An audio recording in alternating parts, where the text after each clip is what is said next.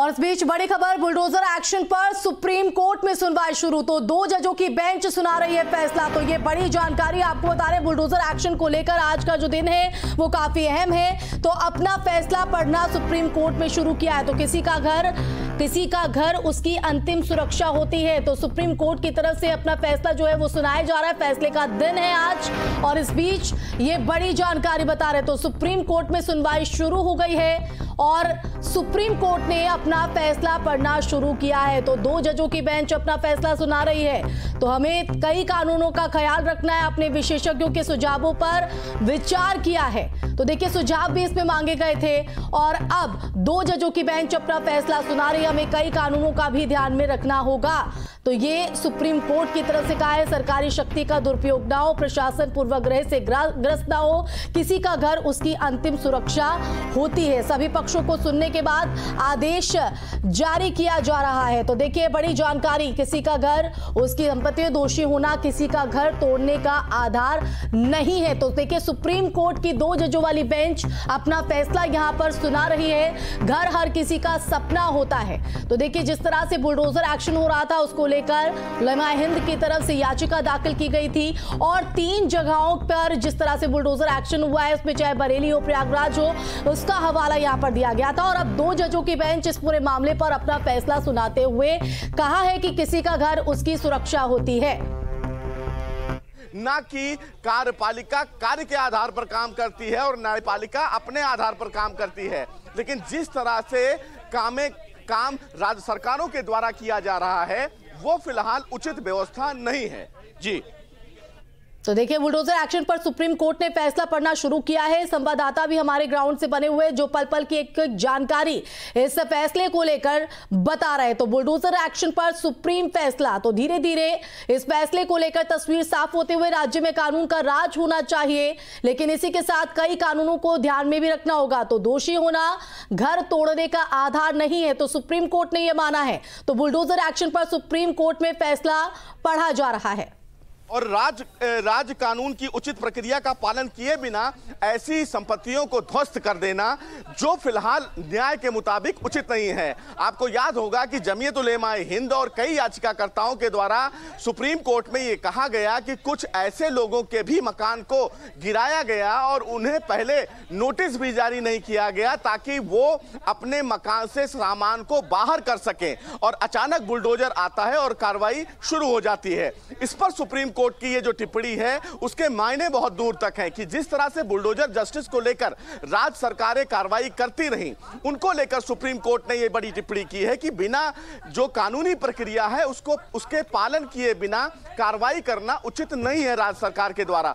हालाँकि तमाम राज्य सरकारों के द्वारा सुप्रीम कोर्ट में यह कहा गया है कि जो म्यूनसिपल एक्ट है, उसी के मुताबिक कार्रवाई की जाती है। अगर कोई अवैध अतिक्रमण है तो संबंधित पार्टी को हम म्यूनसिपल एक्ट के मुताबिक नोटिस जारी करते हैं और अगर वो नोटिस का जवाब नहीं देता है, तब यह कार्रवाई की जाती है। तो सुप्रीम कोर्ट ने इस पूरे मामले में एक बड़ी टिप्पणी की थी कि म्यूनसिपल एक्ट के मुताबिक कार्रवाई तभी क्यों होती है जब कोई भी व्यक्ति किसी अपराध में अपराधी होता है या वो अपराध करता है। उससे पहले यह कार्रवाई क्यों नहीं होती है? इस पर राज्य सरकार ने कोई जवाब नहीं दिया था। तो ये तय है कि सुप्रीम कोर्ट तमाम जो फैसले सुना रहा है, वो सिलसिलेवार तरीके से सुना रहा है और यह तय होगा कि सुप्रीम कोर्ट का ये फैसला आने वाले दिनों में एक बड़ा नजीर साबित होगा, क्योंकि सुप्रीम कोर्ट एक नया फ्रेम, एक नया गाइडलाइन बनाएगा कि अगर कोई राज्य सरकारें बुलडोजर की कार्रवाई करती हैं तो सुप्रीम कोर्ट के तय नियम के मुताबिक ही कार्रवाई की जाएगी। तमाम याचिकाकर्ताओं ने सुप्रीम कोर्ट से ये मांग की थी कि अगर बुलडोजर कार्रवाई राज्य सरकार को करना है तो संबंधित पार्टी को एक नोटिस जारी करना होगा और कम से कम उस पार्टी को 10 दिन का समय दिया जाए ताकि वो अपनी व्यवस्था कर सके या फिर उस उस उस पूरे नोटिस को अपील में, यानी कि दूसरी कोर्ट में चैलेंज कर सके। लेकिन जिस तरह से एक तरफा कार्रवाई की जा रही है, राज्य सरकार के द्वारा, वो न्यायोचित नहीं है। तो लोकतांत्रिक सरकार की बुनियाद कानून होता है, राज्य में कानून का राज होना चाहिए। तो देखिए, दो जजों की बेंच लगातार अपना जो फैसला है, वो यहाँ पर सुना रहे तो बुलडोजर एक्शन पर सुप्रीम फैसले का आज दिन है और धीरे धीरे तस्वीर जो है वो फैसले को लेकर क्लियर होते हुए। तो किसी का घर, उसकी अंतिम सुरक्षा होती है। ऐसे में अपराध के आधार पर महज घर तोड़ना सही नहीं है। तो कई कानूनों को ध्यान में रखना है। तो अधिकारी मनमाने तरीके से काम नहीं कर सकते। तो सुप्रीम कोर्ट कोर्ट की तरफ़ से ये फैसला यहाँ पर सुनाया जा रहा है। किसी भी संपत्ति मनमाने तरीके से तोड़ना सही नहीं, किसी अपराध की सजा घर तोड़ना नहीं हो सकता। तो ये बड़ी जानकारी आपको बता रहे हैं। ग्राउंड से लगातार हमारे संवाददाता भी बने हुए गलत कार्रवाई पर अधिकारियों पर सख्ती होगी। तो बुलडोजर एक्शन पर सुप्रीम कोर्ट में फैसला जो है वो लगातार पढ़ा जा रहा है और धीरे धीरे तस्वीर सामने आ रही है।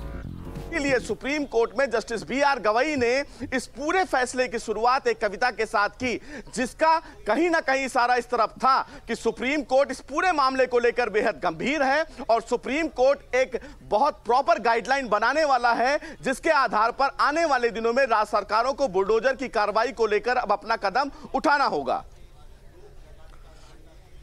तो देखिए, सत्ता का दुरुपयोग बर्दाश्त नहीं होगा। सुप्रीम कोर्ट की तरफ़ से सीधे तौर पर कहा है और कहीं ना कहीं एक एक पॉइंट को जो है क्लियर यहाँ पर दो जजों की बेंच अपना फैसला सुनाते हुए कर रही है। तो कई कानूनों का हवाला भी यहाँ पर सुप्रीम कोर्ट की तरफ़ से दिया गया है। साथ ही ये कहा है कि सिर्फ़ अपराध के आधार पर ही घर तोड़ना सही नहीं तो सरकारी शक्ति का गलत इस्तेमाल ना हो, अधिकारी अपने मनमान, मनमाने तरीके से कार्रवाई इस तरह की नहीं कर सकते। तो किसी का घर, उसकी अंतिम सुरक्षा होती है। तो यह हवाला यहाँ पर इस फैसले को देते हुए दोषी होना किसी का घर तोड़ने का आधार नहीं हो सकता है। तो बेलगाम होकर काम करने वाले अफसर जिम्मेदार हैं। बुलडोजर एक्शन पर सुप्रीम कोर्ट में लगातार जो फैसला है वो पढ़ा जा रहा है। तो आपको बता दें ग्राउंड से हमारे संवाददाता आपको जानकारी दे रहे हैं फैसले को लेकर।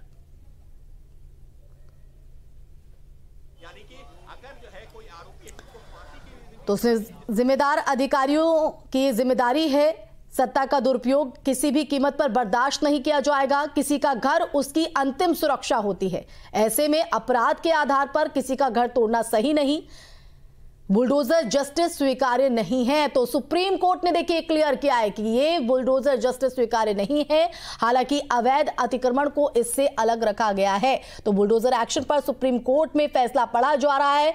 लगातार न्यूज़ स्टेट पर सबसे पहले आपको हम इस फैसले को लेकर जो जो क्लियरिटी सामने आ रही है, वो आपको दिखा रहे हैं। किसी की संपत्ति मनमाने तरीके से जो है दराजशाही नहीं की जा सकती। सरकारी शक्ति का गलत इस्तेमाल ना हो तो सीधे तौर पर सरकार को यह चेताया जा रहा रहा है सुप्रीम कोर्ट की तरफ़ से यह क्लियर किया जा रहा है कि मनमाने तरीके से अधिकारी इस तरह की कार्रवाई नहीं कर सकते हैं। पहले दोषी यहाँ पर ठहराना होगा और दोषी ठहराने के लिए भी एक पूरी प्रक्रिया होती है जिसे निभाना होगा और उसी के बाद इस तरह की कोई कार्रवाई यहाँ पर होगी। तो लोकतांत्रिक सरकार की बुनियाद कानून होता है और ऐसे में राज्य में रा, कानून का राज होना चाहिए। तो यह हवाला यहाँ पर अपना फैसला देते हुए सुप्रीम कोर्ट की तरफ़ से तो यह बड़ी जानकारी आपको बता रहे सरकारी शक्ति का गलत इस्तेमाल ना हो, ये जानकारी यहाँ पर दी गई तो घर किसी की सुरक्षा की पहली उम्मीद होती है। तो कानूनी प्रक्रिया का पालन होना इस कार्रवाई के लिए ज़रूरी है। हालाँकि इस पूरे मामले में सरकार ने अपना पक्ष ज़रूर रखा था।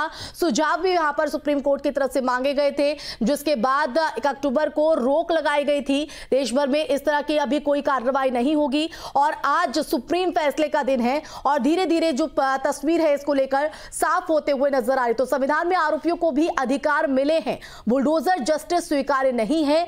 मनमाने तरीके से मकान गिराया गया तो इसके लिए प्रशासन जिम्मेदार होगा। प्रशासन जज नहीं बन सकता है।